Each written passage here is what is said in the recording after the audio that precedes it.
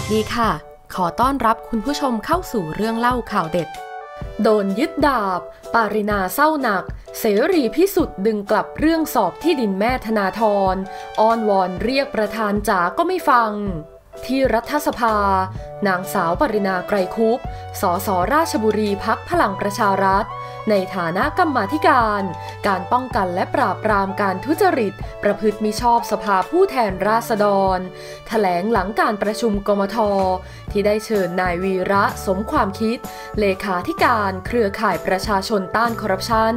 เข้าชี้แจงกมท กรณีการบุกรุกที่ป่าของนางสาวปรินา ที่จังหวัดราชบุรีว่า ในวันนี้พลตำรวจเอกเสรีพิสุทธิ์เตมียเวทสสบัญชีรายชื่อพักเสรีรวมไทย ในฐานะประธานกมท ได้มอบหมายเรื่องการพิจารณากรณีที่ดิน ที่จังหวัดราชบุรีของมารดานายธนาธรจึงรุ่งเรืองกิจ หัวหน้าพักอนาคตใหม่ แต่พอผู้สื่อข่าวออกจากห้องประชุม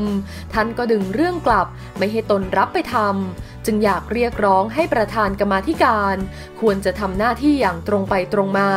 อย่าใช้อำนาจเพื่อปกป้องตัวเอง เวลาที่ถูกร้องเรียน ดิฉันอยากจะบอกว่า การร้องเรียนเรื่องต่างๆ เป็นเรื่องน่าสนใจ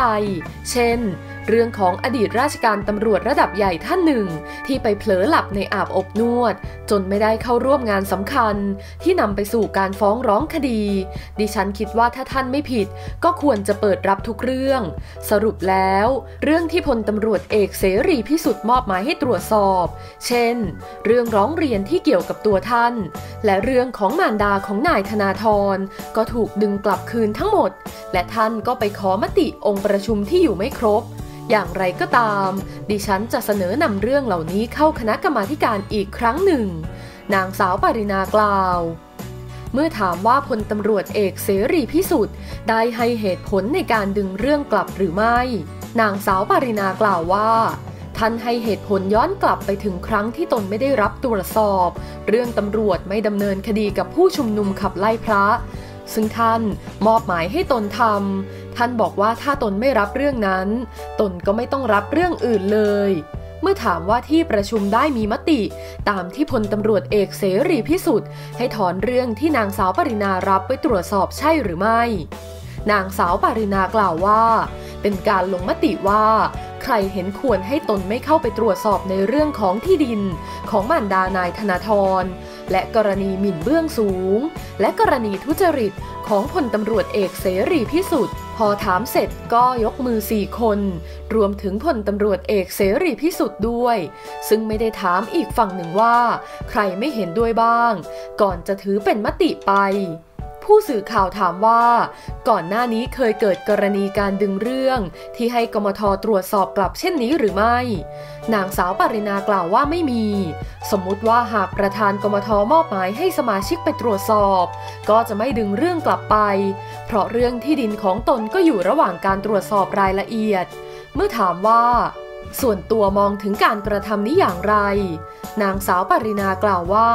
ส่วนตัวมองว่าเป็นการปกป้องตัวท่านเอง ดิฉันเป็นกมทที่ถูกร้องเรียน ดิฉันก็ยินดีถูกตรวจสอบแบบสบายๆ วันนี้ดิฉันก็นั่งฟังนายวีระแบบสบายๆ เมื่อถามว่ามีกมทฝ่ายรัฐบาล ได้ขอคัดค้านการถอนเรื่องหรือไม่นางสาวปารินากล่าวว่า ดิฉันคัดค้านตลอด แต่ท่านไม่ฟังเลย ดิฉันถึงขั้นเรียกประธานจ๋าเลยนะคะ ท่านยังทำเป็นไม่ได้ยิน ซึ่งมีสมาชิกจากพรรคภูมิใจไทย และพรรคประชาธิปัตย์ร่วมคัดค้านด้วยเมื่อถามในการเสนอเรื่องนี้เข้าที่ประชุมกมทต่อไป คาดหวังว่าจะได้รับมาประมวลเรื่องต่อหรือไม่ นางสาวปรินากล่าวว่า คาดหวังว่าจะเข้าสู่ที่ประชุมอีกครั้ง เพราะจริงๆ เรื่องนี้ตนได้ศึกษามาระดับหนึ่งแล้ว ความจริง เรื่องที่ดินของมารดาของนายธนาธร ตนเป็นเจ้าของเรื่องที่ไปร้องเรียนตั้งแต่ต้น เพราะเกิดขึ้นในพื้นที่ของตนจึงมีข้อมูลเยอะ ส่วนกรณีหมิ่นเบื้องสูง กับกรณีทุจริตของพลตำรวจเอกเสรีพิสุทธิ์ตนก็ศึกษาและทำหนังสือขอเชิญพลตำรวจเอกอัศวินขวัญเมือง ผู้ว่าราชการจังหวัดกรุงเทพมหานคร มาชี้แจงในกมทต่อไป ขอขอบคุณข้อมูลดีๆ จากแนวหน้า อย่าลืมกดติดตามพร้อมทั้งกดรูปกระดิ่ง เพื่อพื่อแจ้งเตือนเรื่องใหม่ๆ จะได้ไม่พลาดรายการเรื่องเล่าข่าวเด็ด ขอบคุณที่รับชม แล้วเจอกันใหม่ค่ะ